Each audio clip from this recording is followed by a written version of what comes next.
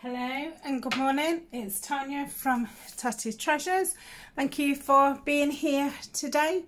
So, it's a lazy Saturday and I remember when I did the last lazy let's flick through a book I didn't have a copy of Nature Notes because as we all know um, all the prices for most books, most popular books went absolutely sky high. Um, and the other week I did manage just to get a copy of this. In fact, yesterday I managed to get another copy. Hopefully it will arrive. Sometimes you buy stuff and then the message is saying, oh, sorry, it's not available because they've realised that the price is actually a lot higher at the moment than they've charged you. Um, so fingers crossed um, I will get that. Um, I only ever have one of these. I've never had two um, because these ones just seem harder to get hold of and they're always um, more expensive and I'm wondering if not as many copies of this was made so that obviously drives the force up, uh, force up? Um, price up anyway so I thought we'd start with September because the other ones I, I don't know if we just looked through uh, the autumn ones, but I thought maybe um, there's people who, who have never seen this copy. So I thought we'll start off with autumn. Then if you've seen this copy before or whatever, you can turn off. And if you haven't, we'll have a quick, quick flip through. So we'll start on September, which has got these beautiful poppies in a hayfield and these cheeky little bunnies having their tea. Now, if you've not seen this book before, you'll notice straight away that the text is different to uh, the Country Garden. Country Garden? Country Diary. Um, that doesn't bother me at all because you've still got really nice coloured pages. They're really thick, good quality.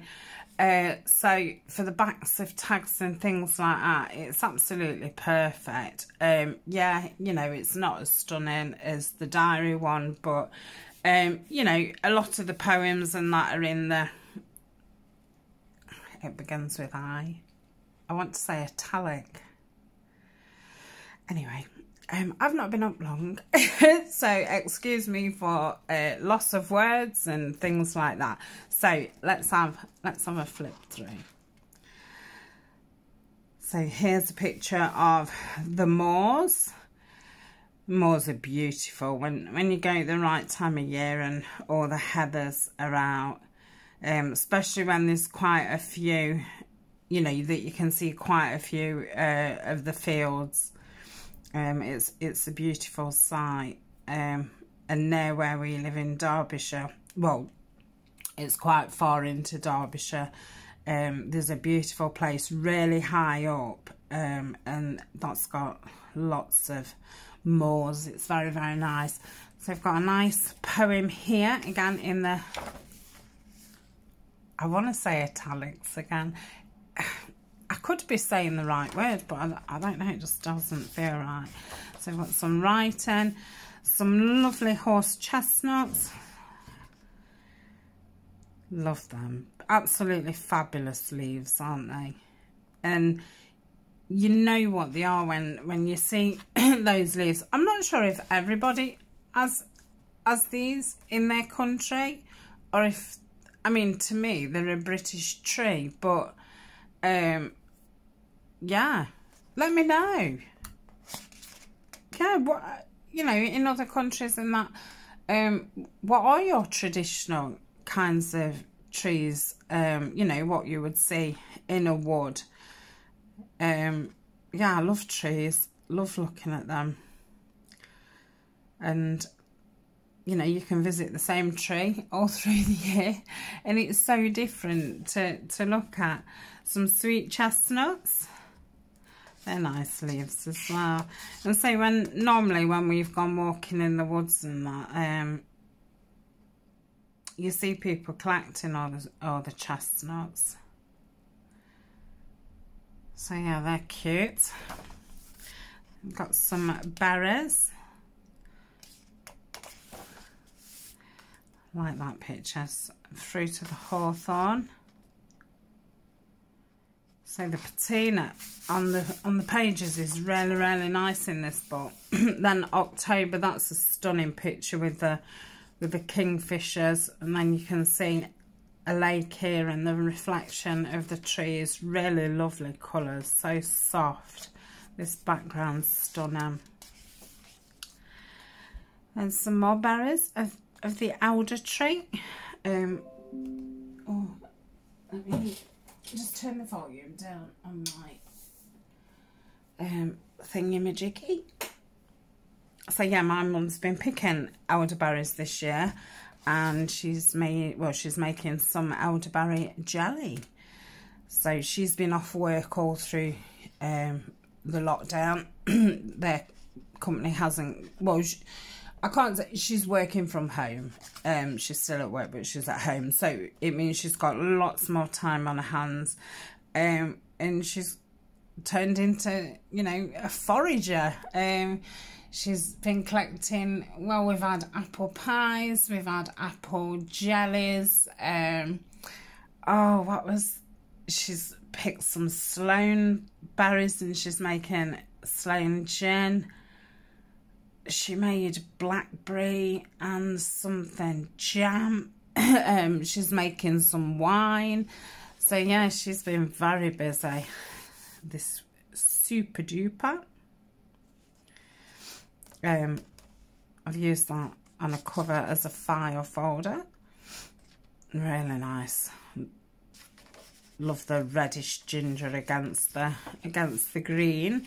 And some acorns such a shame that um, the pictures, you know, double, double up.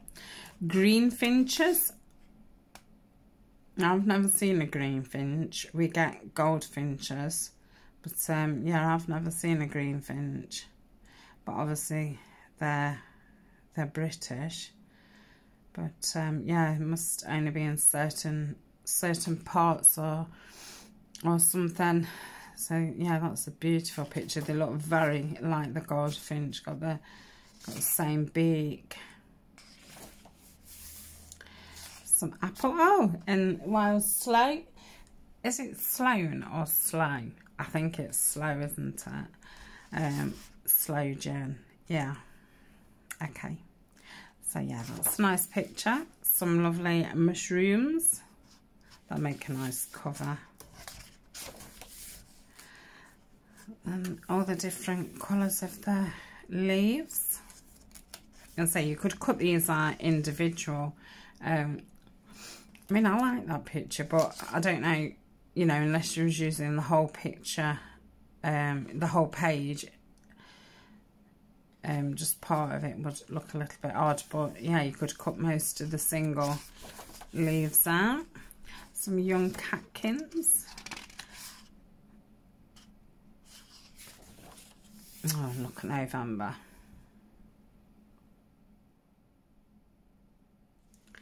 Beautiful. Lovely, lovely colours.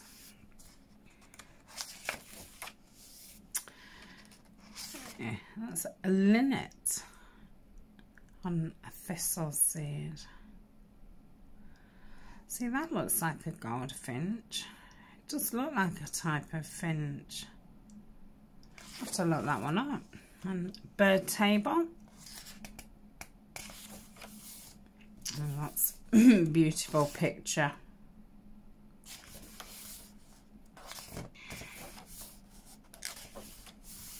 And December.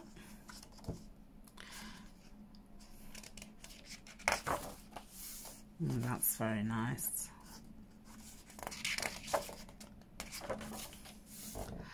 Mistletoe.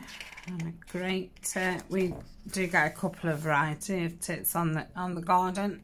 Robin that's kind of our traditional bird on christmas cards and things like um, in america you have the cardinals so the robin is our christmas um, kind of bird. Nice fox. Oh, lovely owl. So she wasn't sure of what what owl it was because she's probably only seen seen the back of it. And some holly and the ivy. Hmm. So that's that. So we'll, we'll just give it a quick. Oh, this one's actually from from. Oh no, it's got the UK as well. Oh, I've not seen that. Oh, lovely given to Gerald on his retirement by his friends at James Taylor. 1991. Oh, that's fab.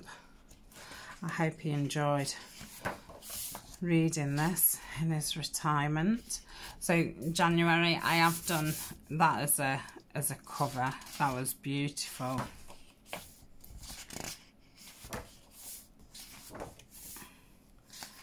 Gold crested wrens. Never seen those before. Winter berries, privet, hips and haws. That's beautiful. I've done a cover with that as well. Yeah, very nice. Love this one. It, it's so cute. Really cute. That's a nice picture as well. March. I think that's a song thrush. Nice sketch. And chaffinch. And a hedge sparrow. With some daffs. That's very nice. April done a cover with that as well. Sorry. I've just not looked in this book for, for a long time, so it's um, bringing it back to me. Oh, Violets. But Violet would love that one. Not sure if she's had this book or not. That's beautiful picture as well. And lots of birds on there. I'm getting right into spring now daffodils. That's pretty.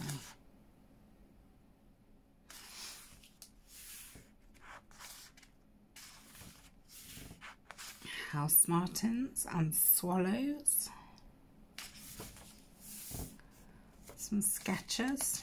Love the nest and love the eggs. There's just, I don't know, something about them. Yeah, it seems a lot more of these single um, little drawings on these ones, which are great if you want to uh, fussy cut. And May.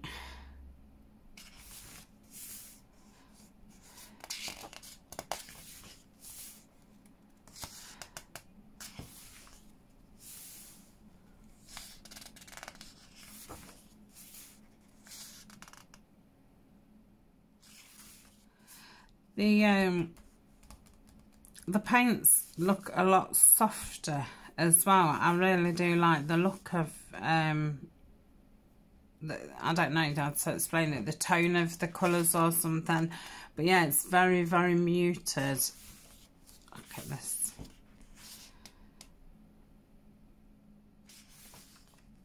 Ugh, don't like that.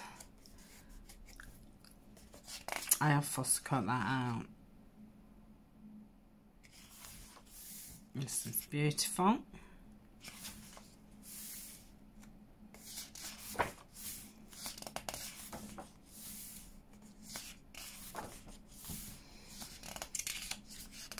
That's very nice, isn't it? I know that's a popular um, picture. I've seen that many a time beautiful. I think I did this in um, one of the pockets that I did in the 3 and 15. I think it was one of those ones where I joined um, the picture together.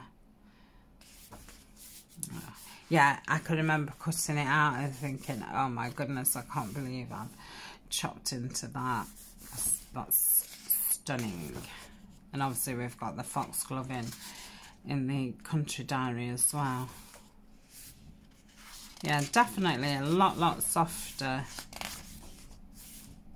Wonder if that's to do with you know, how they've copied it, or I wonder if she had used a different um, paint or something, something like that. Yeah, I think that's why I do do like this book. And like I say, and I think there's more um, text pages. So for me, because I I really do like the pages, um, whatever. Like I say, there's lots of um, love that.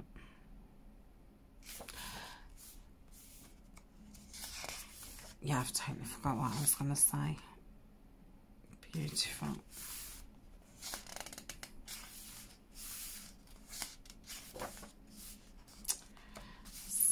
lovely. I won't talk about that. What nice mushroom to cut out. Oh, that's beautiful. Oh, but that's beautiful too. and this is why you need two books. Because if you're doing, say if you're doing all, you know, a spring thing and you just want to take all the spring pages out, then you know, you're going to have to make a lot of choices of which ones to use. So I find if you have two bunks, you can have every single picture then. And it obviously gives you a lot more um, choice, um, you know, as what to cut out for fussy cuts or use as pages and, and things like that. So that that is that. Um, so I hope you've enjoyed that and anybody who's not seen it, I hope you found that useful. Um, I'm going to say it is one to keep your eye on, especially looking uh, price-wise and, and things like that. Um, so that is me. Thanks a lot for joining me. I shall speak to you very soon. Bye for now.